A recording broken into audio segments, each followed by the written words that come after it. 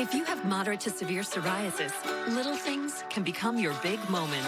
That's why there's Otezla. Otezla is not a cream. It's a pill that treats plaque psoriasis differently. With Otezla, 75% clearer skin is achievable.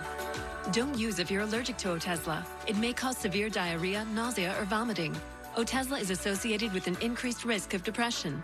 Tell your doctor if you have a history of depression or suicidal thoughts or if these feelings develop. Some people taking Otezla reported weight loss. Your doctor should monitor your weight and may stop treatment. Upper respiratory tract infection and headache may occur.